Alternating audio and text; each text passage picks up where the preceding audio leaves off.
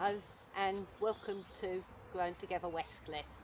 Um, as you see here, I'm just uh, doing a little bit of dead hedging and today we're going to be talking about gardening for wildlife and what you can do in your garden or in the community if you haven't got a garden and gardening for wildlife can be about what we plant or the practices we use, you know, organic techniques, or creating habitats like we put up uh, bird boxes and things. Hello, uh, hello there, hiya. So here we've got a dead hedge, and it's a good way. This is this is a habitat, and it's a good way of getting, you know, using all your wood that you find in the garden and not having to put it in a compost heap or break it up or chip it up and gradually over time it breaks down as it has, has done here but at the bottom there'll be lots of lovely sort of insects and creepy crawlies and things that are really good for the ground. So I'm just going to finish with a few loose bits that come off. So what I try and do try and weave them in as much as I can. So do say hello if you're watching us. It's, it's a glorious afternoon again. I'm sure I'm going to get a wet week soon. And a little bit so I'm just going to tuck them in there and then we're going to have a look around the garden and see the sorts of things we do to help help wildlife in our garden. So if, if anyone's got good ideas out there, drop us a, a message say what we do to help wildlife in your garden. There you are. I've tidied that up a little bit now. So we're going to have a nice, nice little walk around the garden and and see what we can find and we will because I know you like doing this we will go and have a look at the chickens towards the end. Hi Isla. Isla oh you're from the Tuesday Zoom group. Hiya Tuesday Zoom group. I've not joined you yet have I? I was in a meeting today so I couldn't join you again today. But hello everyone. So what I'm going to do now is just going to flip the camera around. So I can see where it is. There we are. And you can actually look down here got a little bit of this is not natural wood, but this here, and you probably look underneath here and probably see quite a few wood lice. And that's the sort of things that are going to be... Um, hi Marie, oh nice to hear from you. Lots of little wood lice, which I quite like. And and they're right at, they'll be right at the bottom of this log pile, so that's exactly what we want. And wood, wood lice are friends for the gardeners, so yeah. I don't know if the wood lice know they're on live, live, um, on live, but hopefully they don't mind. I'm going to put them back under there. So we're going to have a little look around and wave. We're going to wave. So we wave to you all. Let's have a look. So I'm, I'm down in the kind of the, the bird area, the orchard area at the moment. And so this is the dead hedge that we've got either side here that leads to our amphitheatre. So this dead hedge has been here quite a while, so it is a really good way of getting rid of a lot of the, the woody material. Uh, let's have a look at other things now. Not many of you could probably do this, but having, bees is a, is a good way to help wildlife in your garden. Hi, hi Rob. Oh, hi you Rob. Nice to hear from you. Here are the bees. I'm not going to get too close because I tried doing this the other day to take a photograph and it didn't quite work. So let's have a have a look at the bees that are very, very busy at the moment. Can you see them buzzing around there? Yeah. So it's a lovely warm day. I'm actually sort of in the shade where I am and they say that's the safest place to be. Or to be. Let's excuse the pun there. There we go. There we go. So this is a kind of a orchard area and wild uh, wild bird area.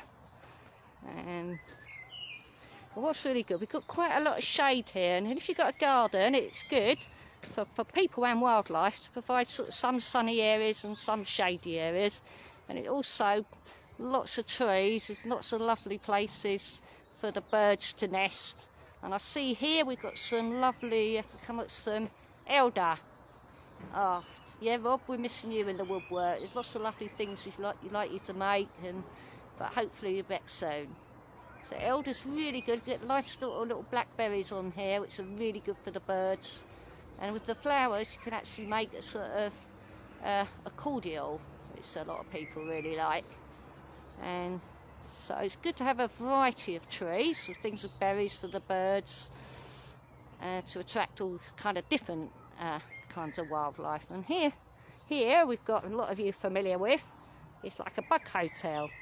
And anyone can make one of these. Really, really easy.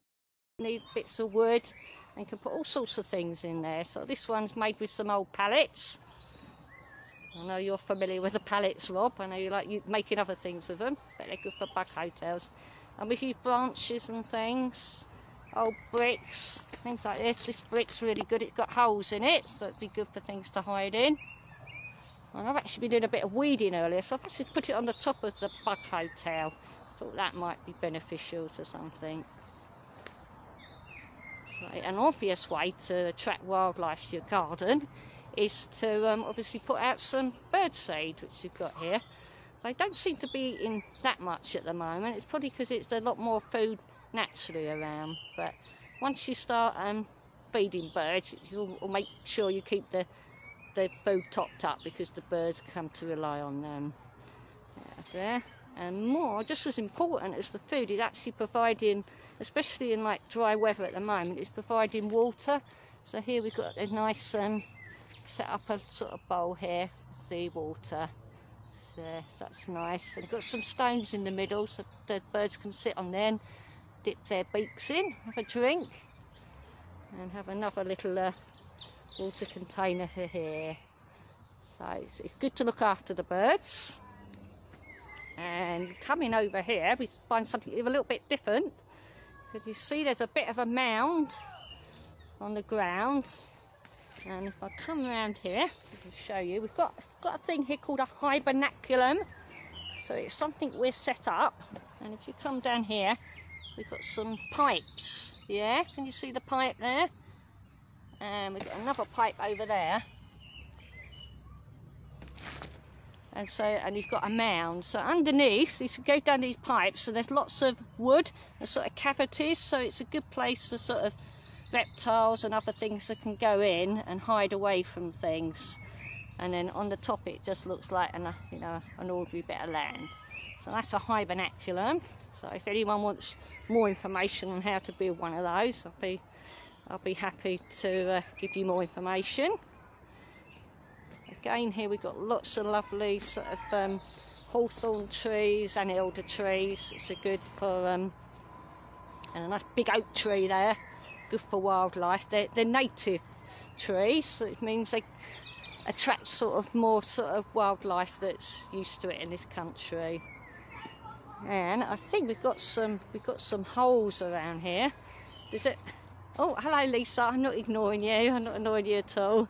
Uh, I think. Does anyone want to go and have a look? See if we've got a badger hole around here. We're just going to go through the um, the bushes here.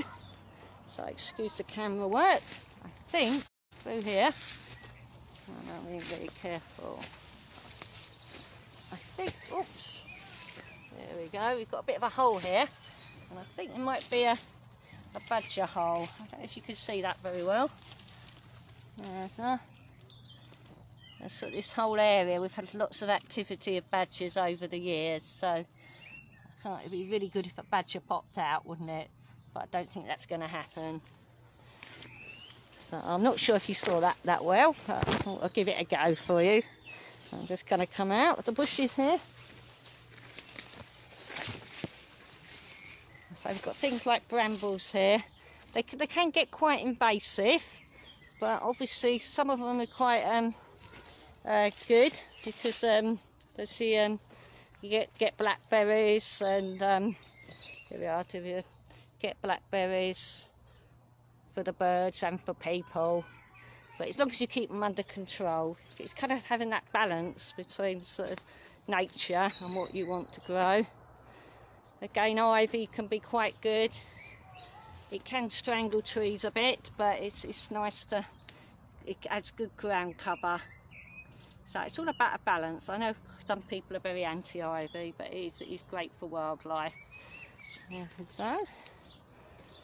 Again, hedging is good, good place for birds to nest. This is the herb garden, it's lovely. We've got some climbers here. Again, this is quite good for birds and things because it's well out of the way of cats and things, so you know, provides a lot of cover. Oh, Marie's been watching badgers on Springwatch. Oh, well done. Yeah, oh, they're, they're fantastic creatures, aren't they? They're very, very big, aren't they? But um, they're, they're fantastic. We've got to look after our badgers. So oh, we've got the herbaceous border here, lots of lovely flowers. That's good for the bees and things. So again, it's having different things around the garden.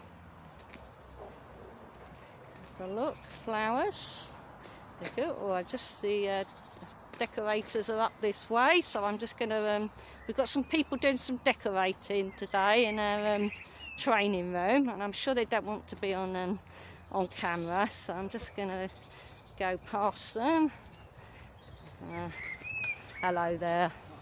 This is live, so don't worry, you're not on it.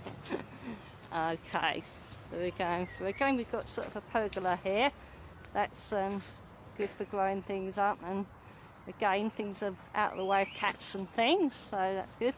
I wanted to point out? Um, if I step backwards here. Got a rowan tree which has lovely red berries.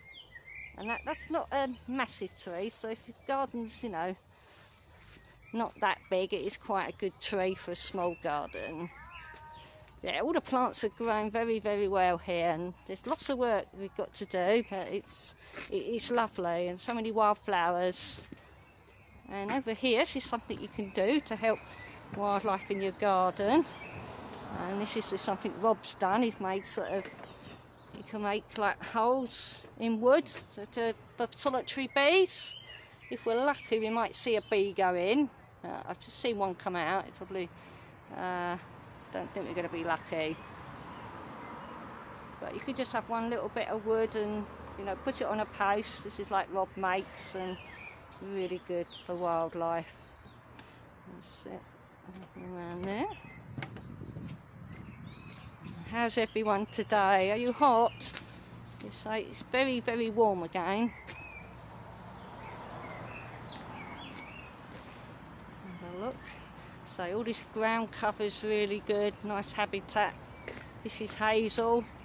This is good. The squirrels like this. You get the hazelnuts. So we do get quite a few squirrels in here. I think they eat the bird seed as well. So can't always win. We're. I don't know if some of you might have seen Jamie's um, live sessions, and he's been doing putting some uh, bird boxes up. So this is this is by uh, the hub, and we set up a, a little um, bird box, yeah, and it's attached to a camera. So you might have to wait a little bit. I don't always go to things straight away, but that might be quite exciting. Yeah, that's it. Okay. But, but if you notice on the um, the bird birdhouse, it hasn't got a perch on it. And a lot of people think, oh hi Georgina, it is very hot. It's very hot. A lot of people think you need a perch on a birdhouse, but in fact, it, it although it's you know if you've got one that's fine, but it can he help predators to sit there. So something you're probably better off without a perch. And I think the RSPB probably don't do ones with perches. But, but a bird box with a with a perch is better than having no bird box at all. Another thing is sort of the eaves of a building be quite a good place, yeah. To look out for wherever you live, see if you've got anything growing, anything sort of nesting. We have had birds sort of nesting kind of up this little bit up here, just up there. So, so, so keep your eyes open. It's good to attract birds. And so a few years ago, we actually, some of you might remember, we had um, a blackbird nest in the sort of sails there amongst the pots, and it actually laid some eggs. So, you know, even though there's a lot of people around looking at the plants, they, they took it as an opportunity as somewhere safe to uh, nest. So that was a few years ago. Good. And we're going to have a look now at some of the lovely um, boxes. Hi Jess, that some people have made. Say these ones haven't got a perch, so that's um, so they're good little boxes. And I can show you some of the little um, bug houses. I think Rob might have been part of. and these are quite simple to make. And then you've got the little holes there where the little bees can come in.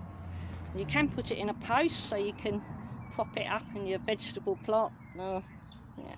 So they're really good. Anyone can have a go at that. Uh, it's all about doing everything you can to attract wildlife to your garden. Okay, so we've got lots of uh, weeds growing in the distance there. Hi, oh, Marie saying hello to Jessa. That's good. I like it when you're all talking to each other. Lots and lots of weeds, but you know they should be quite easy to get up when the time comes. It's probably a, you know, it's a fantastic place for wildlife at the moment. So there's a positive to everything. There we come round. Again, can't see anything. Have to check out. Can't see anything making a nest up there, but you, you never know. It's, uh, just looking around, you know, what you've got, and just thinking, not trying to be too tidy sometimes, because if you see here, wildlife, it actually um, takes opportunity of everything. We've got an old log here, and although it's only a little bit of grass, things will start growing amongst the things. So you can sometimes get quite nice flowers growing in places like that. So it's just how nature adapts, and I find that quite exciting, really. And uh, who knows? And the soil, you know, gets dropped or blown in there, and, and things start growing. You it's, I say, helping wildlife. It's good to conserve water, so having a water butt will be really beneficial, especially at the moment because it doesn't look like we're having any rain for a while, and that's good for the environment. And you're using natural rainwater. Uh, this, any of you were watching last week, I think I was uh, planting out some some kale plants, and we were doing sort of sort of like some companion planting. So we've actually planted out some marigolds uh, there and some poached eggplants. So they'll, they'll attract hoverflies and things, so that's really beneficial. So, so thinking about what you're planting all the time. Have a look. Going. So this building's quite good. We've got lots of nice sort of eaves for, for things to um, hide. I'm not sure if we get bats here. I don't know. Never been down here in the evening to look. Uh, I should imagine we probably do. And let's have a look around. Um, see, we've got bees and stuff tend to like um, blue flowers, so sort of chives we've got here are quite good. I think we can just see a bee on there now. Okay, you can see it. I'll see if I can zoom in a bit closer. Oh, isn't that amazing?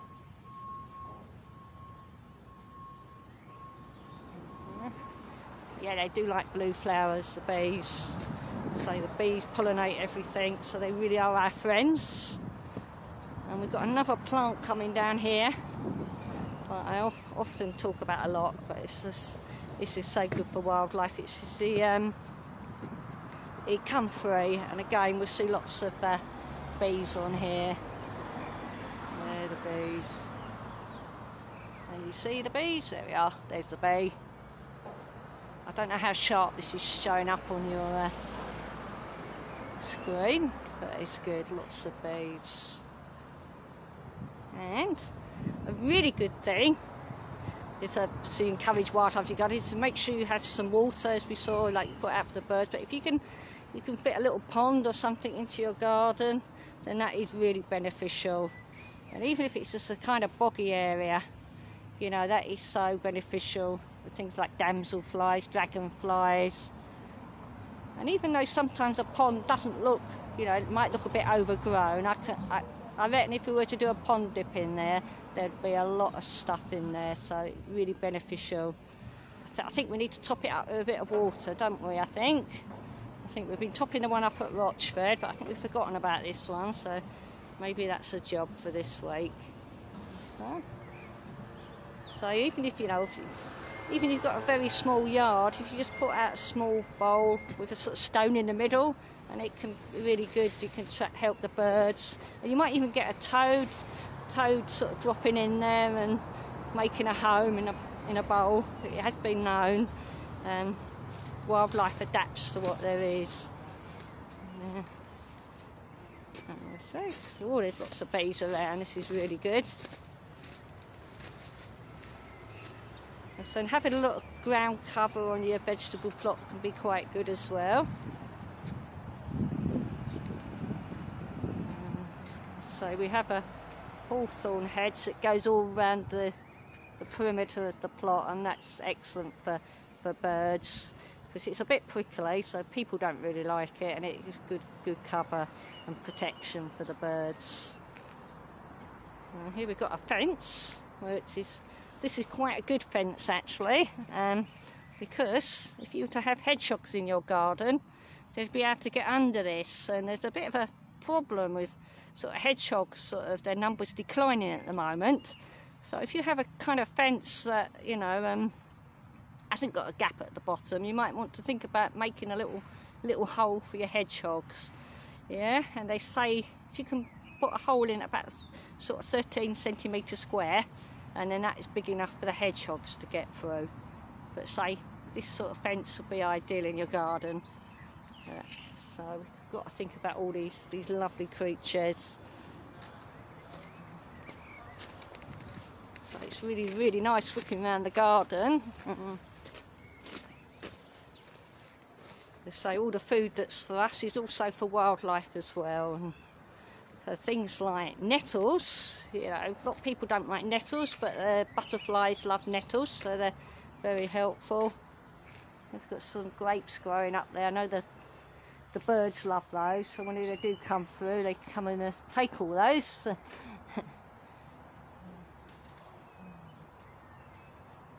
we've got lots of wildlife here, and I'll show you. We think we've got activity underneath the woodwork area here can see a hole through there. I tried to block it off with a traffic cone, but it didn't quite work because they've taken some soil out. And we've also got a hole on the other side of the, the woodwork area now, which is down here. So we, we think we've got foxes uh, living under there. Uh, I think because there's no one working in the woodwork area, it's a very safe place for them to stay.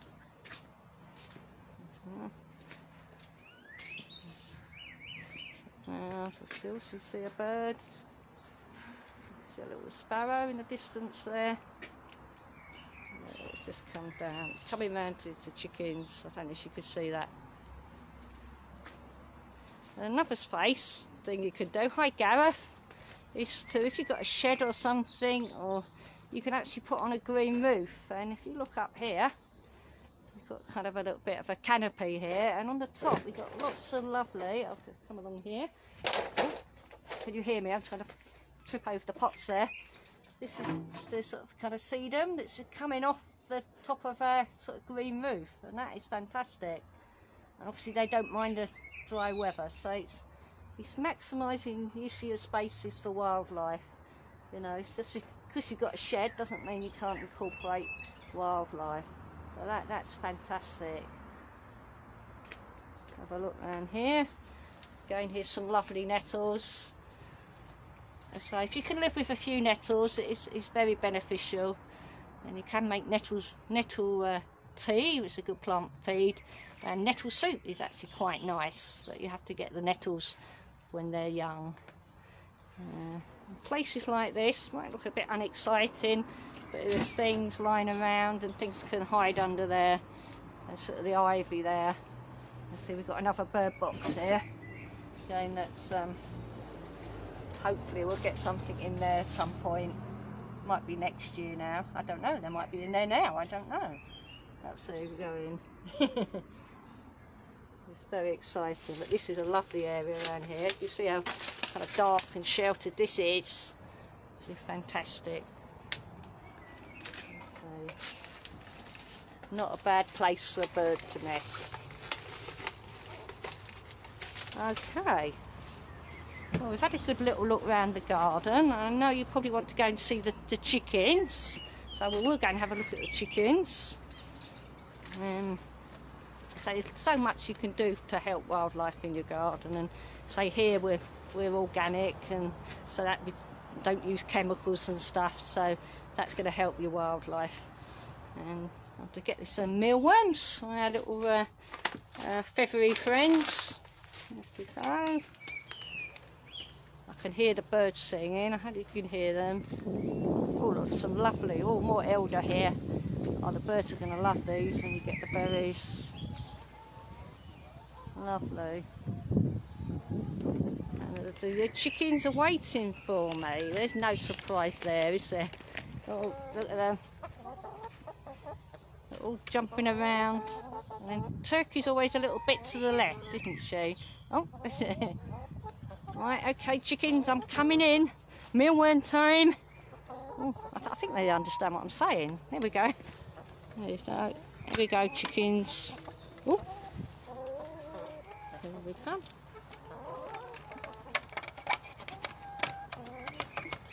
They'll probably start jumping up in a minute. There we go. I'm going to go sit on my log. Oh, sit there.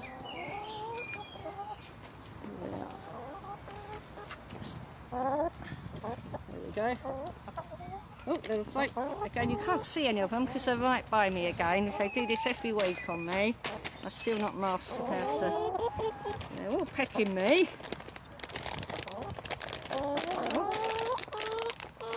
Okay, open the... Oh, right, mealworm time it is. Get ready.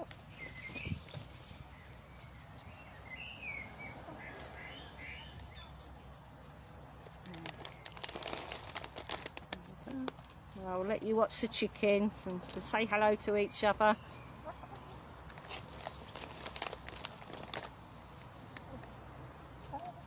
Oh, oh, this? One just pecked me then. Oh,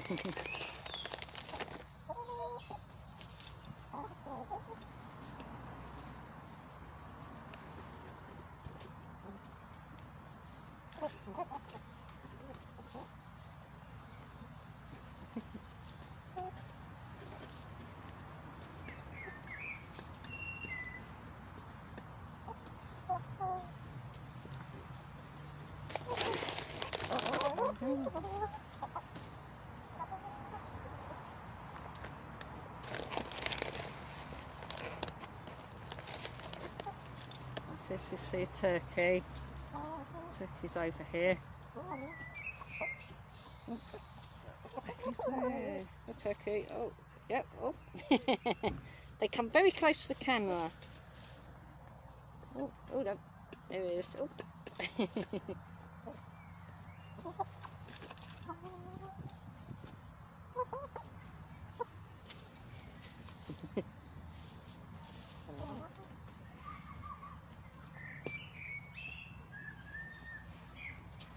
well, that's keeping them entertained, isn't it?